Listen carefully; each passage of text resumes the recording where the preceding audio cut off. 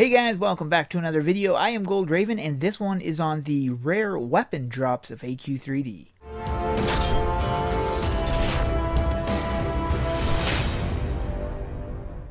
Some of these items are not exactly rare drops as they are difficult to get due to lack of people being there or stuff like that. So let's get started. The first things we're going to be doing is over at Bone Cliffs.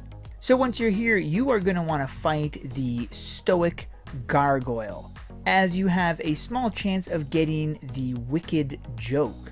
And depending on your luck, it can take a while to get. The gargoyle spawns right here on this platform. The next two items you can find in the dungeon over here. In the Umbral Caves, you have a chance of getting the Chetan Piercer. I think that's how you say it, I'm terrible with names. And the Acid Worn Blade.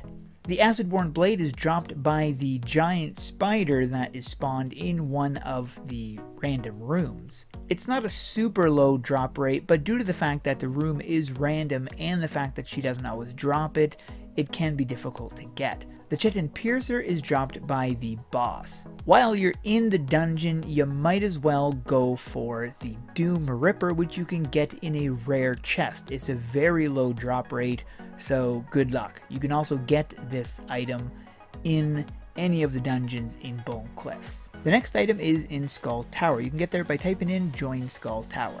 In this dungeon, you have a chance of getting the Soulborn Axe, and this is an extremely rare drop. You can get it from rare chests that are spawned randomly throughout this dungeon. The chance of getting the axe from the rare chest is extremely rare, plus, of course, you have to find a rare chest, which is not an easy feat. Another item you can get in here is the Decayed Dragon's Bane. Now, this is not an extremely rare drop, but you have to get this weapon from the right boss, which because the bosses are randomly spawned, it's not always easy. The next item you can get if you head to Ashfall and you want to go to Magma Mines. Once here, you want to head up this direction and head into the Magma Falls dungeon. Now this dungeon is not an easy one to run, but if you can get to the boss and kill him, you have a chance of getting the Furnace Hammer and it is a pretty darn good looking hammer. While you're in Ashfall, you'll want to jump over to the Mount Ashfall camp. If you run this challenge right here, you have a chance of getting the Phoenix Blade, which is a really nice looking blade, the Acrolith Axe, Acroloth? I, again, I'm horrible with names, so, but anyways, this is a nice axe, and the Dragon Slayer Lance. If you jump over to Dreadfool's Labyrinth. Here you have a chance of getting the Midas Curse from rare chests. Now it's a very low drop rate, so it might take quite a while to get, but it is a great looking item. You can also get the Dreadfool cards from Dreadfool. It's a pretty low drop rate, so this one might also take quite a while to get jumping over to the underworld gate. If you whip around and go into here, head to the Legion Survival. In here, you have a chance of getting the Great Grave Blade, or sword, Great Grave, and this is one of my favorite items. Absolutely love this weapon. It is dropped by the Legion Renegade. In this area, a random boss called the Legion Dragon spawns, and he drops the Legion Dragon Sword. You can also get this from Dage's challenge, dropped by the boss there as well. While you're in the underground, if you head over to the Undead Warrior challenge and defeat the Undead Warrior, you have a chance of getting the Undead Warrior blade or sword. And it's not a very rare drop, but I thought I might mention it since you're here. Now there are a lot of other weapon drops that you can get in the Legion area. They're not super hard drops to get, but these are the items that you can get in this area. Dropped by the different bosses in this area. If you jump over to Barrow Point, And right in this little doorway right here, you've got two options, Barrow Drop and Drop Challenge. If you go to Barrow Drop and you kill the Ace Vora, you have a chance of getting the Vora Hammer. It's a pretty low drop rate, not super low. You have to do this area by yourself, so it's a bit tricky for people of a lower level.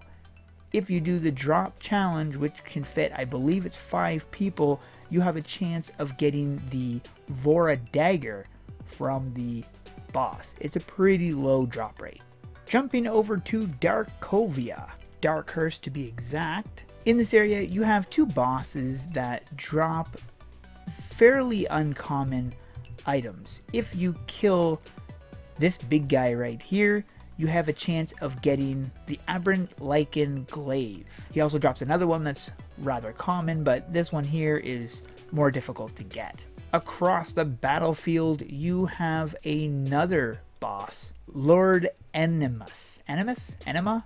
Lord Enema. And this guy drops the Unholy Vampiric Dagger, which is a pretty low drop rate. These are not extremely low drop rates, but they are somewhat rare, so I thought I'd mention them. He also dropped another dagger that's not very uncommon.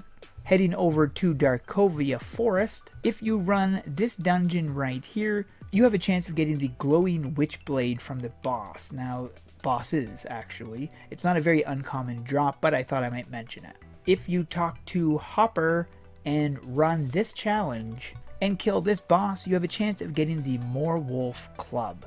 It's not a super uncommon drop, but it is difficult to defeat this guy and to get the item, so that's why it's in this video. If you kill the ancient evil that spawns randomly in this area, you have a chance of getting the ancient evil scythe, which is a really nice looking scythe. It also drops the armor set that goes along with this scythe. If you run this challenge right here, you have a chance of getting the Vile Teratoma Sickle, and this is dropped by the boss right here. It is a rather uncommon drop, which is why I decided to mention it. He also drops another weapon that's very similar. If you run into this little area here and head to the right, run this dungeon, and when you get to the boss and kill him, you have a chance of getting the Hunter's Stake. It is an extremely rare drop rate, but you just might get it. Jump over to the Darkovia Castle, and once here, you run up the left staircase. And if you run this dungeon right here, you have a chance of getting three different items from the boss.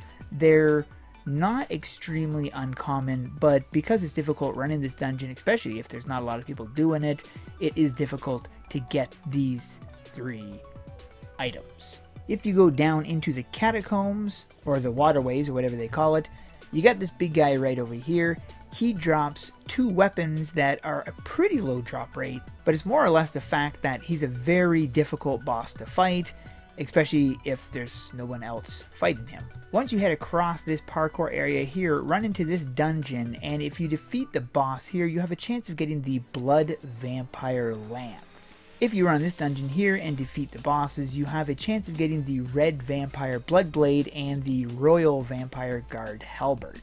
The last location is in Frostvale. If you jump to Frostvale and run the Blizzard Backwoods Dungeon, you have a chance of getting the Great Ice Block dropped by the boss.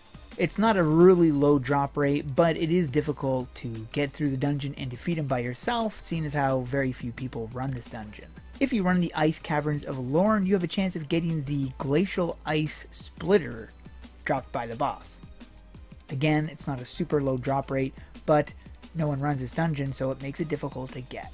Last but not least, if you defeat the Terra Snoma, you have a chance of getting the Ice Club, and this is not a very low drop rate, but it is difficult to kill this guy, especially if nobody's here, so that's why I put it on the list. So there we go. Those are the rare or hard to get weapons of AQ3D. I hope you guys enjoyed this video. If you want to check out my Twitter or the AE Federation, you can check the links in the description below. If you like this video, be sure to give it a thumbs up and subscribe. We'll see you in the next one. Bye-bye.